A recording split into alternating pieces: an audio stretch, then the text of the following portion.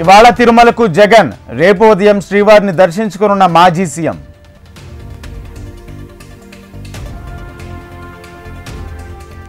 జగన్ తిరుమల పర్యటనపై deputy CM స్పందన declaration అనేది టీటీడీ చూసుకుంటుందన్న పవన్.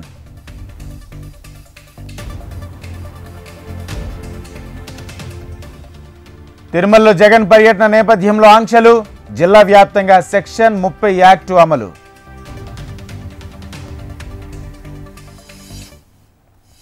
ఒక హిందూ ద్వేషి శ్రీవారి మెట్లెక్కడం శోచనీయం. జగన్ తిరుమల పర్యటనపై భానుప్రకాష్ ఫైర్.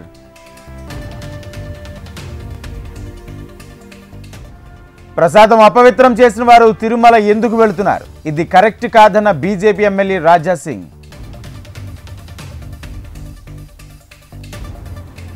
శ్రీవారి సొమ్ము తినడంలో జగన్కు మజా ఉంది.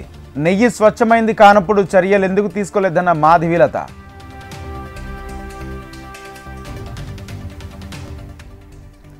ఆధారాలు లేకుండా తిరుమల లడ్డు కల్తీ అనడం తప్పు. కల్తీ ఆరోపణలపై సిట్టింగ్ జడ్జితో విచారణ జరిపించాలన్న వంగా గీత.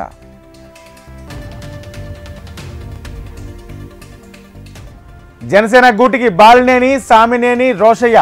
పార్టీ కండువ కప్పి ఆహ్వానించిన జనసేనాని.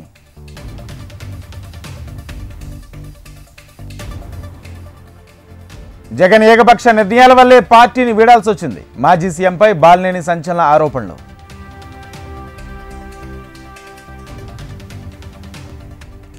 కులాలు మతాల పేరుతో ప్రజలను రెచ్చగొడుతున్నారు. పవన్ బాధ్యతారాహిత్యంగా వ్యవహరిస్తున్నారన్న పేర్ని నాని.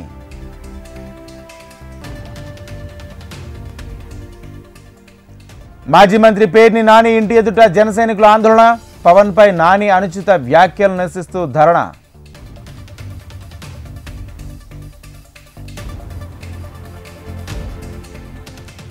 పార్టీ మారుతున్నట్లు వస్తున్న వార్తల్లో నిజం లేదు. సోషల్ మీడియా ప్రచారాన్ని ఖండించిన దాడిశెట్టి రాజా.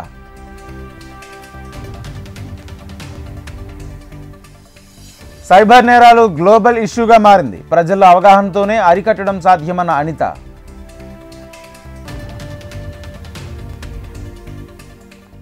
కాళేశ్వరం అక్రమాల్లో ఎవరిని బాధ్యులు చేయాలో అర్థం కావడం లేదు. సీఎం రేవంత్ రెడ్డి కీలక వ్యాఖ్యలు.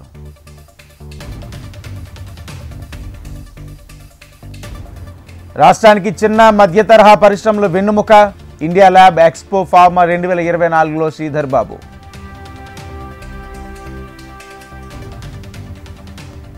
వేల కోట్ల కుంభంగోడం కోసమే ఫార్మసిటీ రద్దు. రేవంత్ సర్కార్పై మాజీ మంత్రి కేటీఆర్ కామెంట్స్.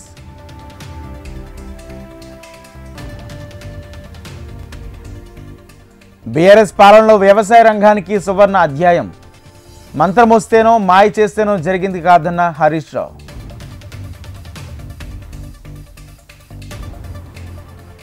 కేటీఆర్కు సృజన్ రెడ్డి లీగల్ నోటీసులు అమృత్ పథకం టెండర్లలో అవినీతి ఆరోపణపై నోటీసులు.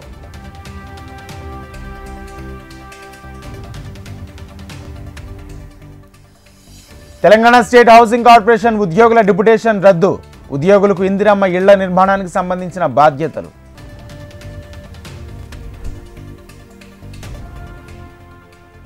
మూసీ పరిసర ప్రాంతాల ఆక్రమణపై ప్రభుత్వం దృష్టి అక్రమ కట్టడాలను గుర్తించిన వర్క్ చేస్తున్న అధికారులు.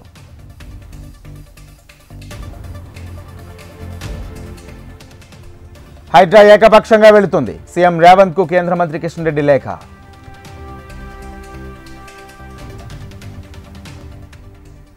హైదరాబాద్ రామంతపూర్లో ఉద్రిక్తత. హైడ్రా కూల్చివేతలను అడ్డుకున్న స్థానిక మహిళలు.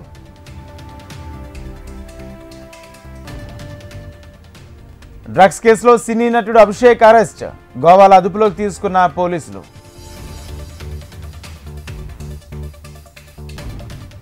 శివసేన యూటీబీ కీలక నేత సంజయ్ రావుత్కు ఎదురుదెబ్బ పరువు నష్టం కేసులో పదిహేను రోజుల జైలు శిక్ష విధించిన ముంబై కోర్టు. ప్రధాని మోడీని కలిసిన భారత్ చెస్ బృందం గోల్డ్ మెడల్ సాధించిన వారిని అభినందించిన మోడీ.